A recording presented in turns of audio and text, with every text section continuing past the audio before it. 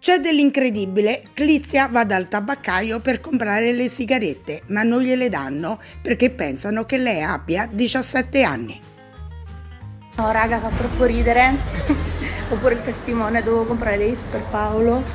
Non avevo il documento, mi hanno chiesto il documento, non me l'hanno venduto.